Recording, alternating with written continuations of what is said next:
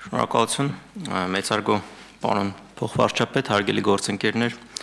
սիրելի քաղաքացիներ, որոշումը բխում է Հայաստանի 2050 ռազմավարությունից, որով որ 2020-ից մինչև 2030 թվականները հրճակվել էին արդյունաբերական զարգացման տարիներ։ Դրանից ելնելով կառավարության հնգամյա ծրագրով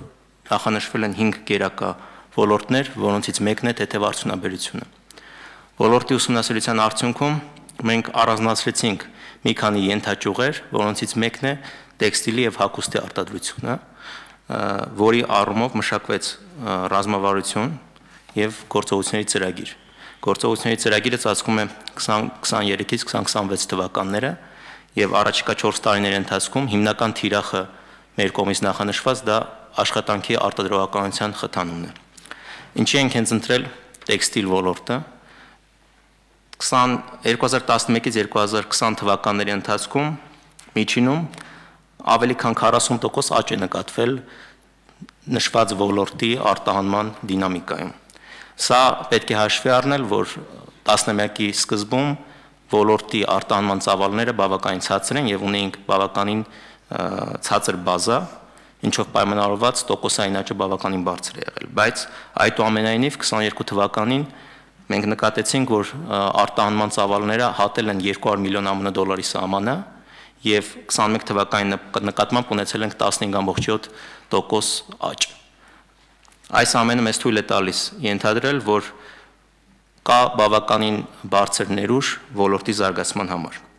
Հակոստի արտադրությունը 2022 թվականին ապահովել է մոտ 11500 աշխատատեղ, որոնցից 95%-ը մոտավոր կանանց ներգրավվածությամբ 22 թվականին ոլորտում գործել է 265 ընկերություն, որոնց մեծ մասը եղել են փոքր միջին ձեռնարկություններ, իսկ ՀՊԿ-ի տվյալներով 21 թվականի խոշոր հարկատների ցանկում 11 տեքստիլ ոլորտի ընկերություն են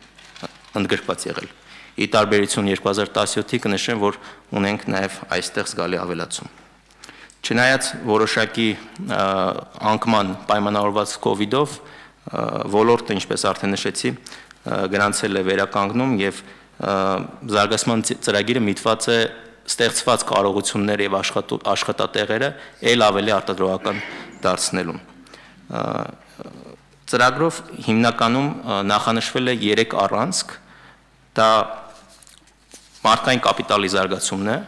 եւ հմտությունների մեծացումը, այստեղ բավականին մեծ գումար ունենք նախատեսած հենց կրթական ծրագրերի, միջի մասնագիտական կրթության, այդ թվում նաև բարձրագույն կրթության ուղղությամբ կատարվելիք մեր անելիքներին, համագործակցելով մեր բոլոր գործընկեր գերատեսչությունների հետ։ Երկրորդ կարևոր առանցքը դա արտադրական կարողությունների զարգացումն ու օպտիմալացումն է, եւ երրորդ առանցքը դա արտահանման միտված եւ վաճառքներին միտված ծրագրերն են։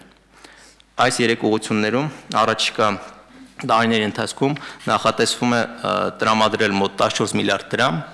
որը բաշխված կլինի տարիների բնականաբար մեջ եւ որպես հիմնական ուղություն, ինչպես արդեն նշեցի, ունենք արտադրողականության խթանումը ծրագրի իրականացման արդյունքում մենք կարծում ենք, որ արտադրողականությունը կարողանանք բարձրացնել 1.8 անգամ եւ դրա արդյունքում կունենանք արտանման ծավալների աճ ընդհանուր մինչև 500 միլիոն ԱՄՆ դոլարի սահմաններում